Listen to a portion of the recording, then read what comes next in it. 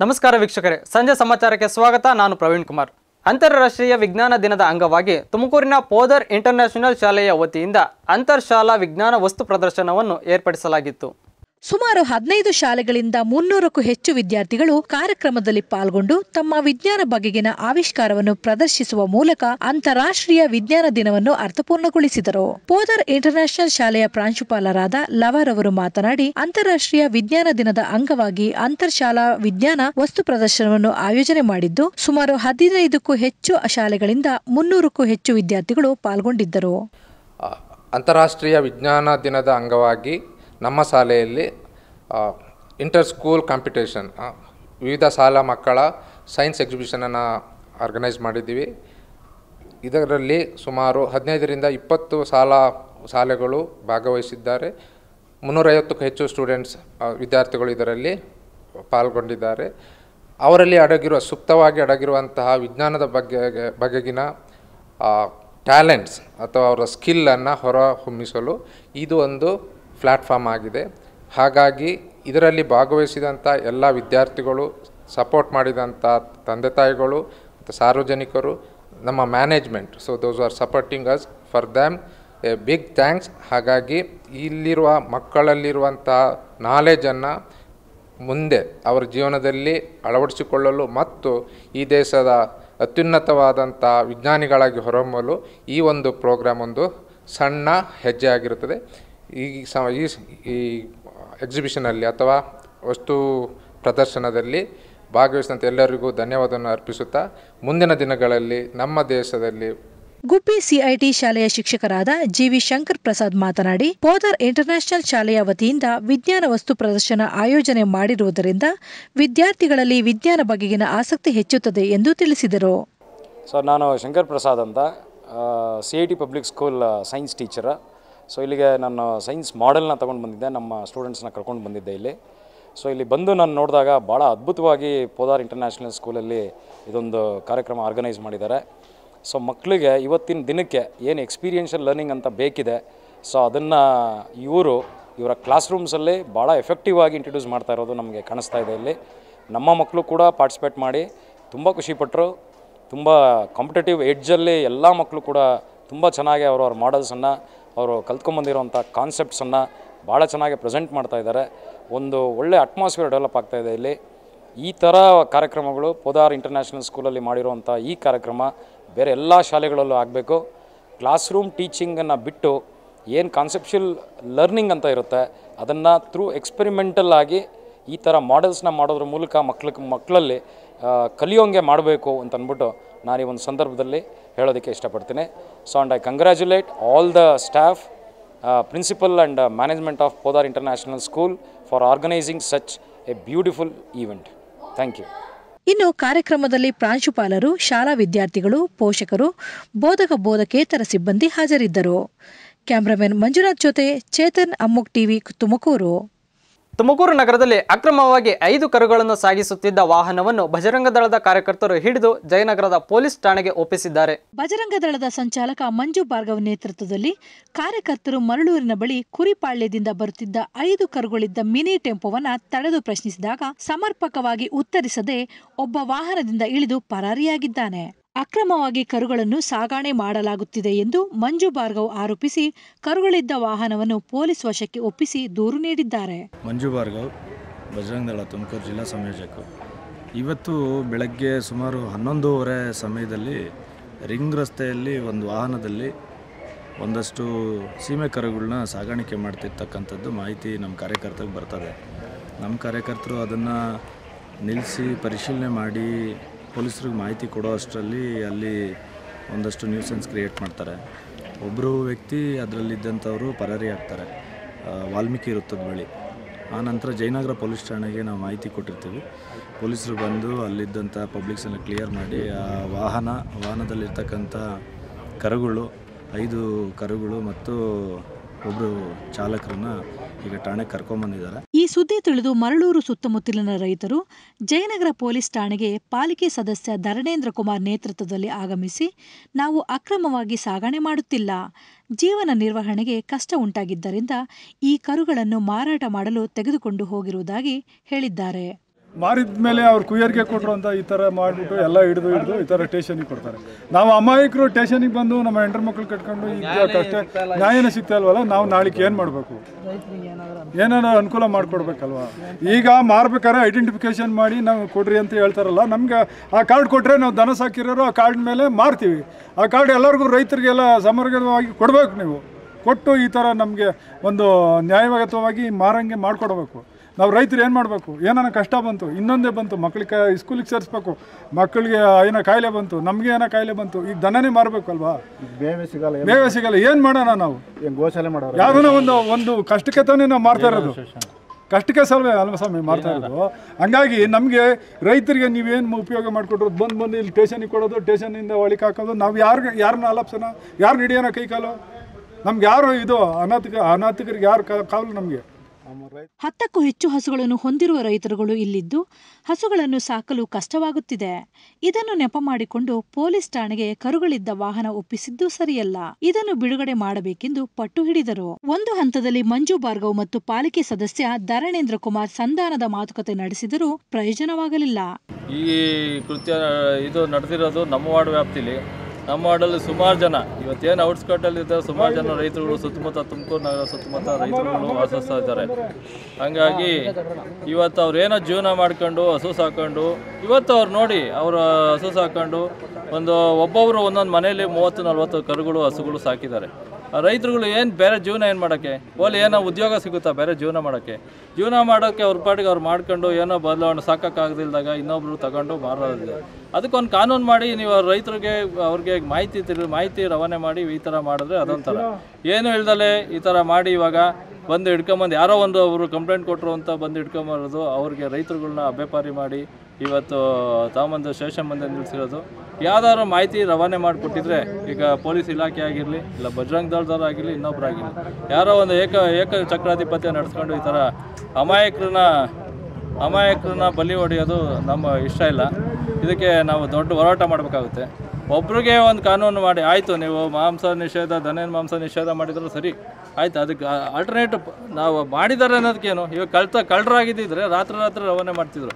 ಇವರು ಹಗಲೊತ್ತು ಇನ್ನೊಬ್ರಿಗೆ ಶಾಲಾ ಹಂತದಿಂದಲೇ ಮಕ್ಕಳಿಗೆ ಸೇವಾದಳದ ಬಗ್ಗೆ ಅರಿವು ಮೂಡಿಸುವುದು ಅಗತ್ಯವಾಗಿದೆ ಎಂದು ಜಿಲ್ಲಾ ಸಾರ್ವಜನಿಕ ಶಿಕ್ಷಣ ಇಲಾಖೆ ಉಪನಿರ್ದೇಶಕ ನಂಜಯ್ಯ ತುಮಕೂರಿನಲ್ಲಿ ಕರೆ ನೀಡಿದರು. ತುಮಕೂರಿನ ಚೇತನ ವಿದ್ಯಾಮಂದಿರ ಶಾಲಾ ಆವರಣದಲ್ಲಿ ಸಾರ್ವಜನಿಕರ ಶಿಕ್ಷಣ ಇಲಾಖೆ ಮತ್ತು ಜನಸೇವಾದಳ ಜಿಲ್ಲಾ ಸಮಿತಿ ಆಶ್ರಯದಲ್ಲಿ ಹಮ್ಮಿಕೊಳ್ಳಲಾಗಿದ್ದ ಭಾರತ ಸೇವಾದಳ ರಾಷ್ಟ್ರೀಯ ಭಾವೈಕ್ಯತೆ ಮಕ್ಕಳ ಮೇಳ ಉದ್ಘಾಟಿಸಿ ಡಿಡಿಪಿಐ ಮಾತನಾಡಿದರು.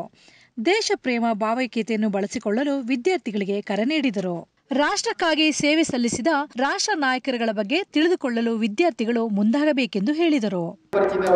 ಒಂದು ಅಂಶ ಮತ್ತು ಒಂದು ಘಟಕ. ಈ ಅಂಶ ಒಂದು ಘಟಕವನ್ನು ನಾವು ಶಾಲಾ ಹಂತದಿಂದ ಎತ್ತಕ್ಕೋಸ್ಕರ ನಾವು ಪ್ರಾರಂಭ ಮಾಡ್ತೀವಿ ಅಂದರೆ ನಾವೆಲ್ಲರೂ ಕೂಡ ವಿದ್ಯಾರ್ಥಿಯ ಜೀವನದಲ್ಲಿ ಹಲವಾರು ರೀತಿಯಾಗಿರ್ತಕ್ಕಂತಹ ಕಾರ್ಯಕ್ರಮಗಳನ್ನು ನಾವೆಲ್ಲರೂ ಕೂಡ ರೂಪಿಸಿಕೊಳ್ಳುವಂಥ ಒಂದು ಕಾರ್ಯಕ್ರಮದಲ್ಲಿ ಇದು ಕೂಡ ಒಂದು ಉತ್ತಮವಾದಂಥ ಒಂದು ಕಾರ್ಯಕ್ರಮ. ಕಾರಣ ಭಾರತ ಸೇವಾದಳ ಅಂತಕ್ಕಂಥ ಒಂದು ಘಟಕ ವಿದ್ಯಾರ್ಥಿಯ ದೆಸೆಯಿಂದಲೇ ನಾವು ಅಥವಾ ವಿದ್ಯಾರ್ಥಿಯ ಜೀವನದಿಂದಲೇ ನಾವು ರೂಪಿಸಿಕೊಂಡಂತಹ ಸಂದರ್ಭದಲ್ಲಿ ನಾವು ಹಲವಾರು ರೀತಿಯಾಗ್ತಕ್ಕಂಥ ನೈತಿಕ ಮೌಲ್ಯಗಳನ್ನು ದೇಶ ಪ್ರೇಮವನ್ನು ಭಾವೈಕ್ಯತೆಯನ್ನು ಐಕ್ಯತೆಯಲ್ಲಿ ಏಕತೆಯನ್ನು ಸಾಧಿಸುವಂಥ ಒಂದು ಹಲವಾರು ಚಟುವಟಿಕೆಗಳ ಕಾರ್ಯಕ್ರಮಗಳಲ್ಲಿ ನಾವೆಲ್ಲರೂ ಕೂಡ ತೊಡಗಿಸಿಕೊಂಡಿರ್ತೀವಿ. ಅಂತಹ ಒಂದು ಕಾರ್ಯಕ್ರಮದ ಚಟುವಟಿಕೆ ಇದು ಕೂಡ ಒಂದು. ನಾವೆಲ್ಲರೂ ಕೂಡ ವಿದ್ಯಾರ್ಥಿಯ ಜೀವನದಲ್ಲಿ ಕೇವಲ ಪಠ್ಯವಸ್ತುವಿಗೆ ಅಷ್ಟೇ ಸೀಮಿತಗೊಳಿಸಿಕೊಂಡು ನಾವು ವಿದ್ಯಾರ್ಥಿಯ ಜೀವನವನ್ನು ನಡೆಸಿಕೊಂಡು ಹೋಗೋದಿಲ್ಲ ವಿದ್ಯಾರ್ಥಿಯ ಜೀವನದಲ್ಲಿ ನಾವು ಮಹಾತ್ಮ ಗಾಂಧೀಜಿ, ಜವಾಹರಲಾಲ್ ನೆಹರು, ಗೋಪಾಲಕೃಷ್ಣ ಗೋಖಲೆ ಸೇರಿದಂತೆ ಹಲವಾರು ಮಹನೀಯರನ್ನು ಸ್ಮರಿಸಿಕೊಂಡರು. ಮಹಾತ್ಮ ಗಾಂಧೀಜಿ, ಜವಾಹರಲಾಲ್ ನೆಹರು, ಗೋಪಾಲಕೃಷ್ಣ ಗೋಖಲೆ ಸೇರಿದಂತೆ ಹಲವಾರು ಮಹನೀಯರನ್ನು ಸ್ಮರಿಸಿಕೊಂಡರು. ಭಾರತ ಸೇವಾದಳದ ಜಿಲ್ಲಾ ಕಾರ್ಯದರ್ಶಿ ಎಚ್ ಎಸ್ ಕೃಷ್ಣಮೂರ್ತಿ ಪ್ರಾಸ್ತಾವಿಕವಾಗಿ ಮಾತನಾಡಿ, ಮಕ್ಕಳಲ್ಲಿ ದೇಶಪ್ರೇಮ ಮತ್ತು ಭಾವೈಕ್ಯತೆಯನ್ನು ಬೆಳೆಸಿಕೊಳ್ಳಬೇಕಾದ ಅವಶ್ಯಕತೆ ಇದೆ ಎಂದರು. ಕಟ್ಟತಕ್ಕಂಥ ರಾಷ್ಟ್ರಪಿತ ಮಹಾತ್ಮ ಗಾಂಧೀಜಿಯವರ ಕಾರ್ಯಕ್ರಮ ತಳಹದಿಯ ಮೇಲೆ ಯುವಕರನ್ನು ಸಂಘಟಿಸಿ ರಾಷ್ಟ್ರೀಯ ಸೇವೆಗಾಗಿ ತರಬೇತಿಯನ್ನು ನಡೆಸ್ತಕ್ಕಂಥ ಈ ಸಂಸ್ಥೆ ಹಾಗೂ ಭಾರತದ ಆದರ್ಶ ನಾಗರಿಕರನ್ನಾಗಿ ಮಾಡಲು ಅವರಲ್ಲಿ ಸಂಯಮ, ಧೈರ್ಯ, ತ್ಯಾಗ, ಸರಳತೆ, ತಾಳ್ಮೆ, ಸಹಕಾರ ಮತ್ತು ಪೂರ್ಣ ಸೇವಾ ಮನೋಭಾವನೆ ಮೂಡಿಸ್ತಕ್ಕಂಥ ಸಂಸ್ಥೆ ಇದು. ಶಿಕ್ಷಣದ ಮೂಲಕ ಜನರ ಆರೋಗ್ಯ, ಶಾರೀರಿಕ ಮತ್ತು ದೃಢತೆಯನ್ನು ಬಲಗೊಳಿಸ್ತಕ್ಕಂಥದ್ದು. ಜಾತಿಯ ಮತ್ತು ವರ್ಣೀಯ ಭಾವನೆಗಳನ್ನು ತ್ಯಜಿಸಿ ರಚನಾತ್ಮಕ ಕಾರ್ಯಕ್ರಮ ಮೂಲಕ ಸೇವೆಯನ್ನು ಸಲ್ಲಿಸ್ತಕ್ಕಂಥ ಒಂದು ಸಂಸ್ಥೆಯನ್ನಾಗಿ ಮತ್ತು ಆಪತ್ಕಾಲದಲ್ಲಿ ಪರಿಹಾರ ಕಾರ್ಯಕ್ರಮ ಮಾಡ್ತಕ್ಕಂಥದ್ದು ಪ್ರಾಣ, ಮಾನ ಮತ್ತು ಸಾರ್ವಜನಿಕ ಆಸ್ತಿಗಳನ್ನು ರಕ್ಷಿಸ್ತಕ್ಕಂಥ ಅಹಿಂಸೆಯನ್ನು ಅಹಿಂಸಾತ್ಮಕವಾಗಿ ಕೆಲಸ ಕಾಲ ನಿರ್ವಹಿಸ್ತಕ್ಕಂಥದ್ದು ಹಾಗೂ ಅಗತ್ಯವಾದ ಶೈಕ್ಷಣಿಕ, ಕೈಗಾರಿಕಾ, ಸಾಂಸ್ಕೃತಿಕ ಕ್ರೀಡೆ ಮತ್ತು ಕ್ರೀಡಾ ಸಂಸ್ಥೆಗಳನ್ನು ಸ್ಥಾಪಿಸತಕ್ಕಂಥದ್ದು. ಭಾರತ ಸೇವಾದಳದ ಜಿಲ್ಲಾ ಸಮಿತಿ ಅಧ್ಯಕ್ಷ ಬಿಜಿ ವೆಂಕಟಗೌಡರವರು ಅಧ್ಯಕ್ಷತೆಯನ್ನು ವಹಿಸಿ ಮಕ್ಕಳಲ್ಲಿ ರಾಷ್ಟ್ರ ಪ್ರೇಮದ ಬಗ್ಗೆ ಅರಿವು ಮೂಡಿಸುವುದೇ ಭಾರತ ಸೇವಾದಳದ ಕಾರ್ಯವಾಗಿದೆ ಎಂದು ಹೇಳಿದರು. ಏರಿ ಒಂದು ಭಾರತ ಸೇವಾದಳ ರಾಷ್ಟ್ರಗೀತೆ ರಾಷ್ಟ್ರಪ್ರೇಮ ರಾಷ್ಟ್ರಭಕ್ತಿಯ ಬಗ್ಗೆ ಏನು ಮಕ್ಕಳಲ್ಲಿ ಒಂದು ಅರಿವನ್ನು ಮೂಡಿಸ್ತಕ್ಕಂಥ ಒಂದು ಸಂಸ್ಥೆ. ಈ ಒಂದು ಸಂಸ್ಥೆ ಒಂದು ಸ್ವಾತಂತ್ರ್ಯ ಸಂಗ್ರಾಮದಲ್ಲೂ ಕೂಡ ಬಹಳ ಪ್ರಮುಖವಾದಂಥ ಪಾತ್ರವನ್ನು ವಹಿಸಿದಂಥ ಒಂದು ಸಂಸ್ಥೆ. ತದನಂತರ ಯಾವುದೇ ಒಂದು ಪಕ್ಷಕ್ಕೆ ಇದು ಉಳಿಬಾರದು ಅನ್ನೋ ಕಾರಣಕ್ಕೆ ಅದನ್ನು ವಿಸರ್ಜನೆಯನ್ನು ಮಾಡಿ, ಕಡೆಗೆ ಸಾವಿರದ ಒಂಬೈನೂರ ಐವತ್ತರಲ್ಲಿ ನಾಸೂರ್ ಅಡೀಕರ್ ಅವರ ನೇತೃತ್ವದಲ್ಲಿ ಈ ಒಂದು ಭಾರತ ಸೇವಾದಳ ಸ್ಥಾಪನೆ ಆಯಿತು. ಅದು ಬೇಲೂರಿನಲ್ಲಿ ಕೂಡ ಈ ಒಂದು ಕಾರ್ಯಕ್ರಮವನ್ನು ಉದ್ಘಾಟನೆಯನ್ನು ಅವತ್ತು ಕೂಡ ಮಾಡಿದರು. ಹಾಗೆ ಕೂಡ ಇದು ಎಲ್ಲ ದಿಕ್ಕಿನಲ್ಲಿ ವಿದ್ಯಾರ್ಥಿಗಳ ಜೊತೆಯಲ್ಲಿ ಕೂಡ ಏನು ಸಮಾಜದಲ್ಲಿ ಇರ್ತಕ್ಕಂಥ ಯಾವುದೇ ಒಂದು ಒಂದು ಪ್ರವಾಹ ನೆರೆ ಬಂದಂಥ ಸಂದರ್ಭದಲ್ಲಿ ಅಲ್ಲಿಗೆ ಜನಗಳಿಗೆ ಒಂದು ಸೌಕರ್ಯಗಳನ್ನು ಒದಗಿಸ್ತ, ಒದಗಿಸ್ತಕ್ಕಂಥದ್ದು ಇರ್ಬೋದು ಹಾಗೂ ಕೂಡ ಹಿಂದೆ ನಡೆದಂಥ ಕಾರ್ಗಿಲ್ ಯುದ್ಧ ಸಮ, ಯುದ್ಧದ ಸಂದರ್ಭದಲ್ಲೂ ಕೂಡ ನಮ್ಮ ಭಾರತ ಸೇವಾದಳ ರಾಜ್ಯ ಸಮಿತಿ ಕೂಡ ಅಲ್ಲಿಗೆ ಹೋಗಿ ನೆರವನ್ನು ಕೊಟ್ಟದ್ದನ್ನು ಕೂಡ ನಾವು ಸ್ಮರಿಸ್ಬೋದು. ಹಾಗೆ ಮೊನ್ನೆ ಕೊರೋನಾ ಬಂದಂಥ ಸಂದರ್ಭದಲ್ಲೂ ಕೂಡ ನಾವು ಸೇವಾದಳದ ವತಿಯಿಂದ ಸ್ಯಾನಿಟೈಸರ್ ಇರ್ಬೋದು, ಮಾಸ್ಕ್ ಇರ್ಬೋದು, ಈ ಈ- ರೀತಿಯಾದಂಥ ಹಲವಾರು ಜನೋಪಯೋಗಿ ಕೆಲಸಗಳನ್ನು ಕೂಡ ನಮ್ಮ ಭಾರತ ಸೇವಾದಳ ಕೂಡ ಮಾಡ್ತಾ ಬಂದಿದೆ. ಅದಕ್ಕೆ ಅಂತ ಅಂದರೆ ಮಕ್ಕಳಲ್ಲಿ ಹೆಚ್ಚು ರಾಷ್ಟ್ರದ ಬಗ್ಗೆ, ಈ ಒಂದು ರಾಷ್ಟ್ರಗೀತೆಯ ಬಗ್ಗೆ, ನಮ್ಮ ರಾಷ್ಟ್ರ ಧ್ವಜದ ಬಗ್ಗೆ ಹೆಚ್ಚು ಅರಿವನ್ನು ಮಕ್ಕಳಲ್ಲಿ ಬೆಳೆಸ್ಕೊಂಡಾಗ ಮಾತ್ರ ಈ ಒಂದು ರಾಷ್ಟ್ರದ ಪ್ರೇಮದ ಬಗ್ಗೆ ಹೆಚ್ಚು ಮಕ್ಕಳಲ್ಲಿ ತಿಳುವಳಿಕೆ ಆದಾಗ ಮಾತ್ರ ರಾಷ್ಟ್ರದ ಒಂದು ಚೇತನ ವಿದ್ಯಾಮಂದಿರದ ಪ್ರಾಂಶುಪಾಲ ಪ್ರೊಫೆಸರ್ ಕೆ. ನಾಗರಾಜರಾವ್, ಶಿಕ್ಷಣ ಇಲಾಖೆಯ ಜಿಲ್ಲಾ ದೈಹಿಕ ಶಿಕ್ಷಣಾಧಿಕಾರಿ ಎಂಬಿ ಪರಮೇಶ್ವರಪ್ಪ, ಭಾರತ ಸೇವಾದಳದ ಜಿಲ್ಲಾ ಉಪಾಧ್ಯಕ್ಷ ಜಿ. ವೆಂಕಟೇಶ್, ಜಿಲ್ಲಾ ಕೋಶಾಧ್ಯಕ್ಷ ಕೆ. ವೆನಟೇಶ್ ಜಿಲ್ಲಾ ಕೋಶಾಧ್ಯಕ್ಷ ಕೆ. ನಟೇಶ್ ಮತ್ತಿತರರು ಪಾಲ್ಗೊಂಡಿದ್ದರು. ಕ್ಯಾಮ್ರಾಮನ್ ಅಂಜನ್ ಜೊತೆ ಮಾರುತಿ ಪ್ರಸಾದ್, ತುಮಕೂರು. ನಕಲಿ ವಸ್ತುಗಳನ್ನು ನೀಡಿ ಮೋಸ ಮಾಡಿರುವ ಅಂತಾರಾಜ್ಯ ಆರೋಪಿಗಳನ್ನು ಬಂಧಿಸಿ ಜೈಲಿಗಟ್ಟುವಲ್ಲಿ ಶಿಡ್ಲಘಟ್ಟ ಪೊಲೀಸರು ಯಶಸ್ವಿಯಾಗಿದ್ದಾರೆ. ಚಿಕ್ಕಬಳ್ಳಾಪುರ ಜಿಲ್ಲಾ ಪೊಲೀಸ್ ಅಧೀಕ್ಷಕರಾದ ನಾಗೇಶ್ ಡಿಎಲ್ ರವರು ನಗರದ ಪೊಲೀಸ್ ಠಾಣೆಯಲ್ಲಿ ಸುದ್ದಿಗೋಷ್ಠಿಯನ್ನು ನಡೆಸಿ ಮಾಹಿತಿಯನ್ನು ನೀಡಿ ಆರೋಪಿಗಳನ್ನು ಬಂಧಿಸಿ ಅವರಿಂದ ನಾಲ್ಕು ಲಕ್ಷ ಹತ್ತು ಸಾವಿರ ನಗದು ಹಣ ಕೃತ್ಯಕ್ಕೆ ಬಳಸಿದ ದ್ವಿಚಕ್ರ ವಾಹನ ವಶಕ್ಕೆ ಪಡೆದುಕೊಂಡು ಆರೋಪಿಗಳನ್ನು ಜೈಲಿಗೊಟ್ಟುವಲ್ಲಿ ಶಿಡ್ಲಘಟ್ಟ ಪೊಲೀಸರು ಯಶಸ್ವಿಯಾಗಿದ್ದಾರೆ. ಫೆಬ್ರವರಿ ಹನ್ನೆರಡರಂದು ತಮಿಳುನಾಡು ರಾಜ್ಯದ ತಿರುವಲ್ಲೂರ್ ಜಿಲ್ಲೆಯ ಎಸ್ ಅಗ್ರಹಾರಂ ಗ್ರಾಮದ ವ್ಯಾಪಾರಿ ಎಸ್. ರಾಜ ಎಂಬುವರನ್ನು ದಿಬ್ಬೂರಹಳ್ಳಿ ಪೊಲೀಸ್ ಠಾಣಾ ವ್ಯಾಪ್ತಿಯ ಹನ್ನೊಂದನೇ ಮೈಲಿ ಬಳಿ ಕರೆಸಿಕೊಂಡು ಕಡಲೆಕಾಯಿ ಬೀಜ ತೋರಿಸಿ ಅವರಿಂದ ಐದು ಲಕ್ಷ ಹಣ ಪಡೆದುಕೊಂಡು ಕಡಲೆಕಾಯಿ ಬೀಜ ನೀಡದೆ ವಂಚನೆ ಮಾಡುವ ಉದ್ದೇಶದಿಂದ ಪರಾರಿಯಾಗಿದ್ದ ವ್ಯಕ್ತಿಗಳ ವಿರುದ್ಧ ಎಸ್. ರಾಜು ದಿಬ್ಬೂರಹಳ್ಳಿ ಪೊಲೀಸ್ ಠಾಣೆಯಲ್ಲಿ ದೂರು ನೀಡಿದರು. ಪೊಲೀಸರು ಇಬ್ಬರು ಆರೋಪಿಗಳನ್ನು ಬಂಧಿಸಿ ವಶಕ್ಕೆ ಪಡೆದುಕೊಂಡಿದ್ದಾರೆ. ಇನ್ನು ಉಳಿದ ಆರೋಪಿಗಳು ತಲೆಮರೆಸಿಕೊಂಡಿದ್ದು ಅವರ ಪತ್ತೆಗಾಗಿ ತೀವ್ರ ಶೋಧ ಕಾರ್ಯ ಮುಂದುವರೆಸಲಾಗಿದೆ ಎಂದರು. ನಮಸ್ಕಾರ. ಇದೇ ತಿಂಗಳ ದಿನಾಂಕ ಹನ್ನೆರಡು ಹದಿನೈದು ತಾರೀಕರಂದು ನಮ್ಮ ಶಿಡ್ಲಘಟ್ಟ ಸರ್ಕಲ್ನ ಇಬ್ಬರಹಳ್ಳಿ ಪೊಲೀಸ್ ಸ್ಟೇಷನ್ನಲ್ಲಿ ಒಬ್ಬರು ತಮಿಳುನಾಡಿನ ರಾಜು ಸನ್ ಆಫ್ ಸುಬ್ರಹ್ಮಣ್ಯ ಅಂತ ಅವರು ಬಂದು ಒಂದು ದೂರು ನೀಡ್ತಾರೆ. ಅವ್ರಿಗೆ ಈ ದೂರಿನ ಸಾರಾಂಶ ಏನಂದರೆ ಅವ್ರಿಗೆ ದಿನಾಂಕ ಎರಡು ಎರಡು. ಫೆಬ್ರವರಿ ಎರಡನೇ ತಾರೀಕರಂದು ಅವರ ಊರಿನಲ್ಲಿ ಕೆಲವರು ವ್ಯಕ್ತಿಗಳು ಚಿಂತಾಮಣಿ ಕಡೆಯಿಂದ ಬಂದು ನಾವು ಕಡಲೆ ಬೀಜವನ್ನು ಸಪ್ಲೈ ಮಾಡ್ತೀವಿ, ಕಡಿಮೆ ಬೆಲೆಯಲ್ಲಿ ಅಂತ ಹೇಳಿ ಒಂದು ಬಿಸ್ನೆಸ್ ಡೀಲ್ನ ಮಾಡ್ತಾರೆ.